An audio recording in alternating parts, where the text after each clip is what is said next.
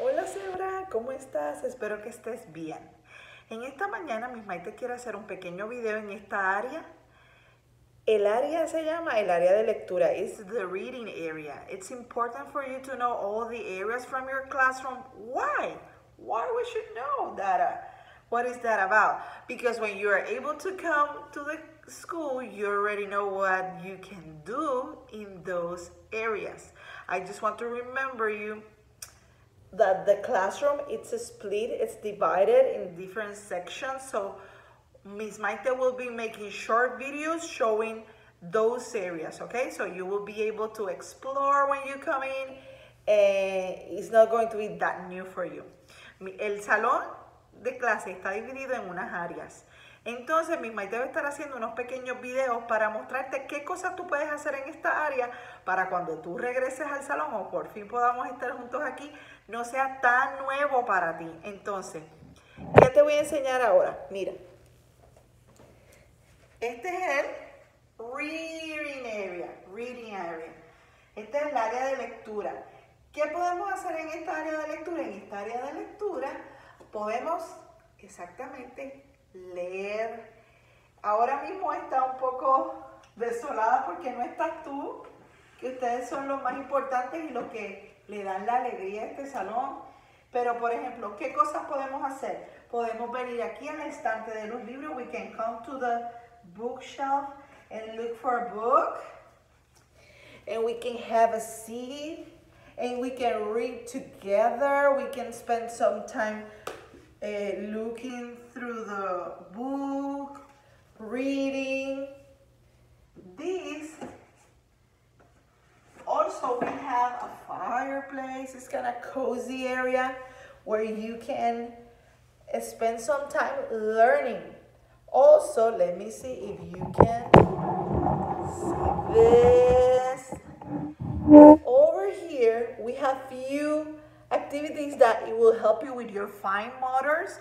Aquí tenemos unas pequeñas actividades que te pueden ayudar con tu motor fino, pero también te van a ayudar con tu proceso de lectura y reconocimiento de letras. Por ejemplo, mira, tenemos los tableros, we have the whiteboards with the markers, uh, we have a rhyme, we have a rhyme uh, puzzle, tenemos un rompecabezas de rima y aquí vamos buscando las palabras con las letras. Ahora mismo no le puedo enseñar ninguna, pero más o menos vamos a buscarla aquí. Por ejemplo, car, star, clock, sock y todas esas tarjetitas tú puedes participar en esta área. Tenemos un juego de alfabeto, el juego de las letras, del abecedario, y las, las buscamos, las conectamos, por ejemplo, rock, las conectamos con sus letras, que es la letra R, rock, R, eh, y así consecutivamente.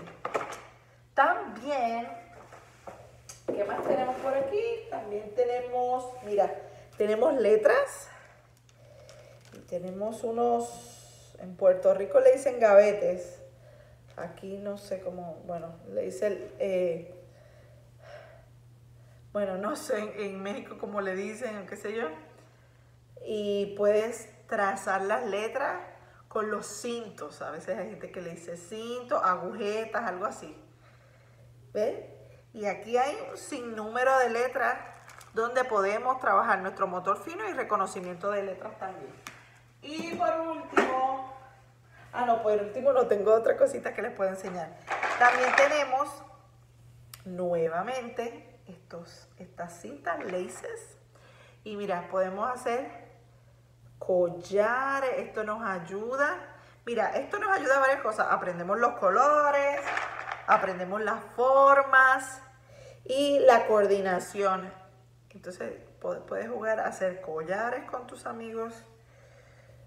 Y así consecutivamente tienen muchas figuras para poder hacer eso.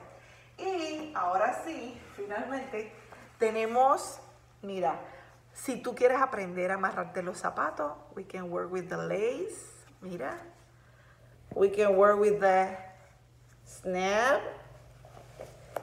aprendemos a... Esos son partes de, de todo, de la vida cotidiana que tú tienes que aprender a ponerte la ropa, a botonártela.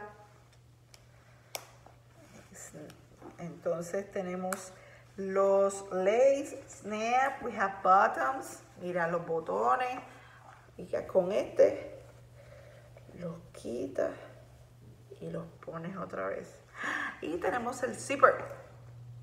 Con el zipper, ups, con el zipper, ¿ves? Aprendemos a cómo conectar el zipper, las dos partes, se enganchan y practicamos cosas de la vida diaria y we are learning together all those things you are able to do over here in the reading area. I'm waiting for you. I'm ready, ready, ready, ready for have you around here, guys.